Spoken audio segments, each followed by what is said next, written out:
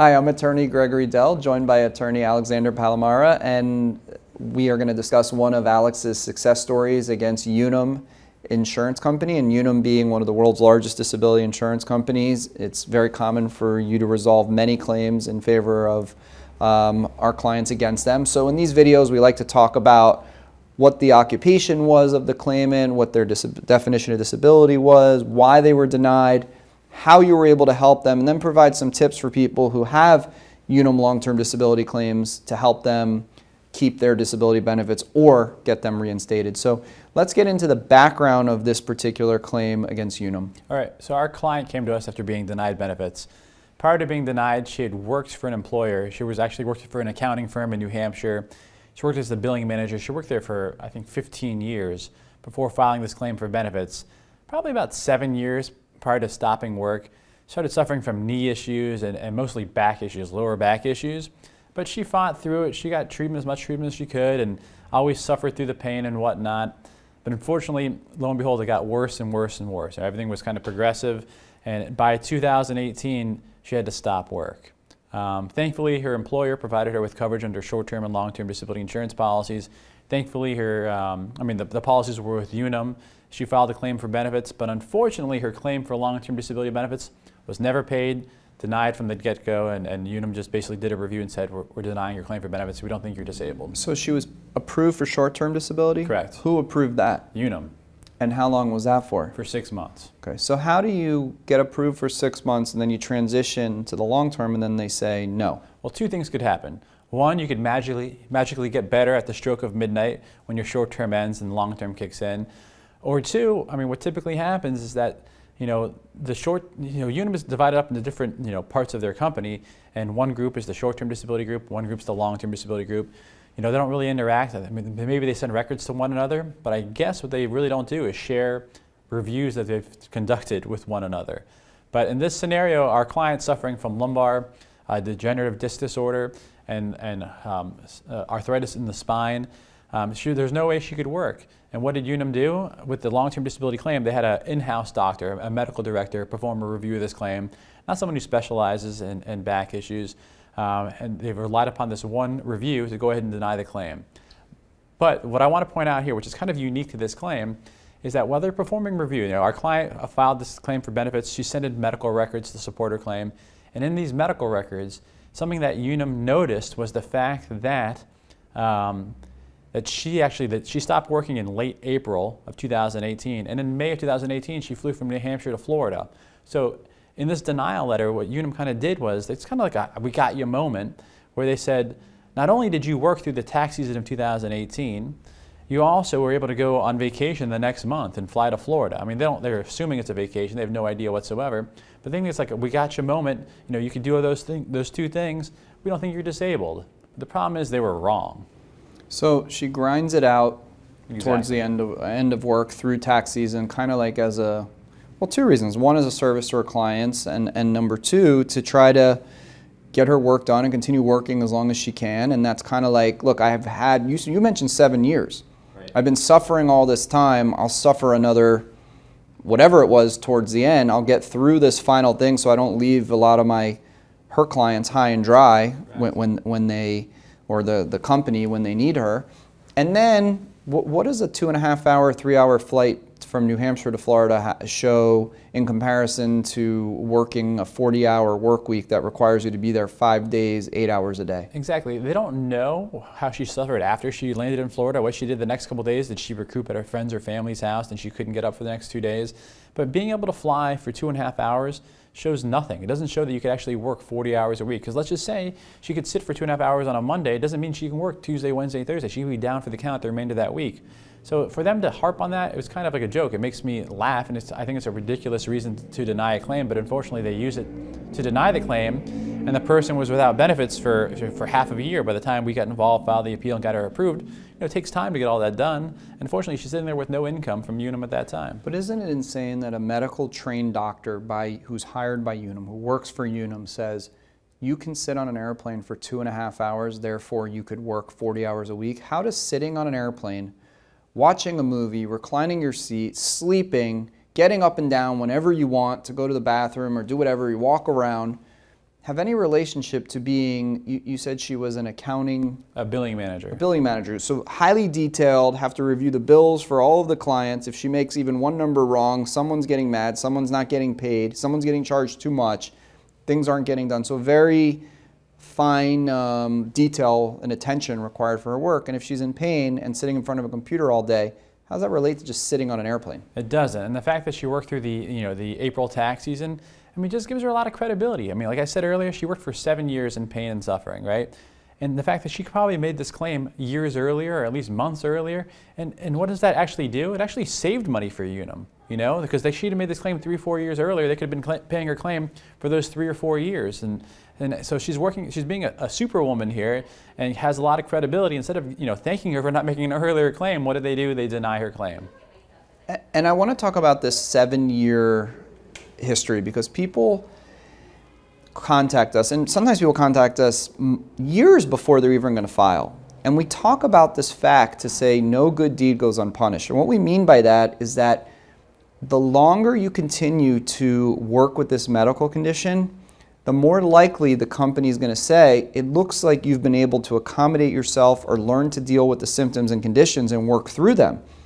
Whereas I guess a normal person thinks, no, what really happened was I worked until I couldn't work anymore. Right. Not that I adjusted to it. But the companies, especially Unum, always looks at it like, no, you've had this for years. We're we looked at your x-ray or MRI from three years earlier. We're looking at it now. Nothing changed. Right. But that gets into you don't treat the chart, you treat the patient right. and what their symptoms are. So this is a classic this is a classic case where, you know, you don't rely on saying you've been, you know, you had seven years doing it and now you can do it. You got to go with the symptoms. So, what did you have to point out on your appeal to overcome this denial? Well, obviously, we, we pointed out the fact that there's x ray evidence, you're talking about objective evidence, x ray evidence, MRI evidence.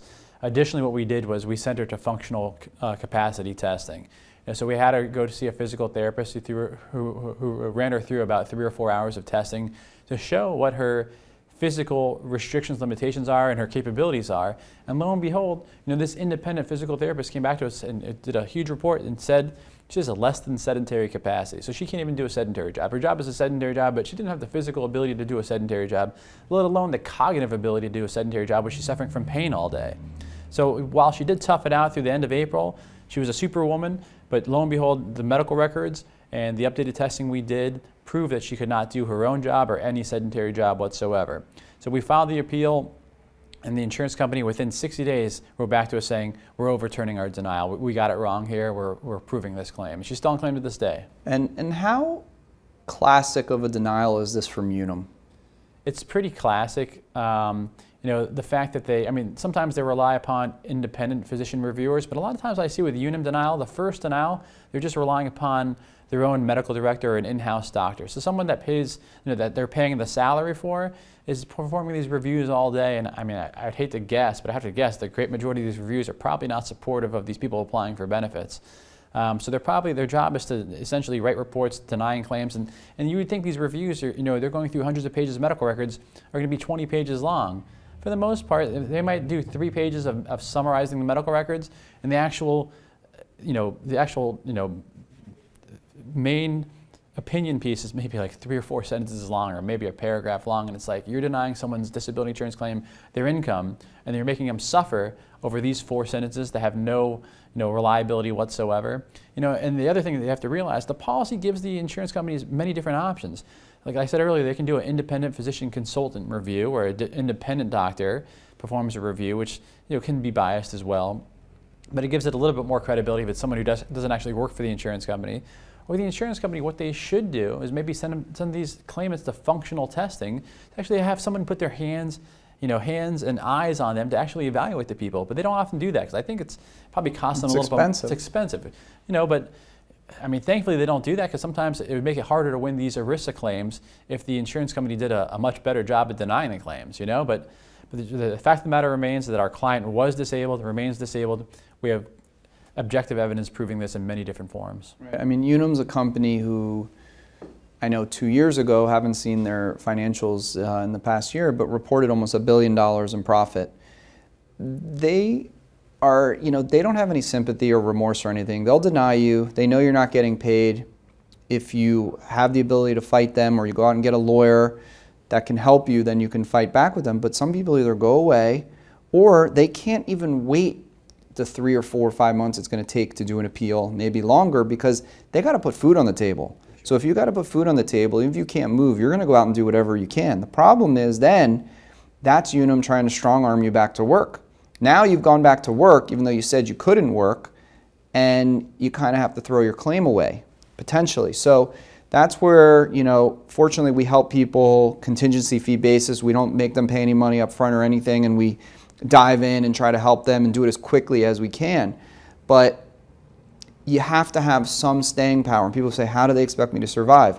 The answer is they don't care how you're going to survive. But we will fight and do whatever we can, you know, as quick as possible to get those benefits reinstated. And we hope that people aren't strong-armed into having to try to go to do something that they really can't do. And then they're just hurting themselves or possibly hurting someone else, depending upon if it's an occupation where they're providing a service to someone else, or not even physically like a doctor or a medical provider, but a service where other people rely on them because they're not able to do their job.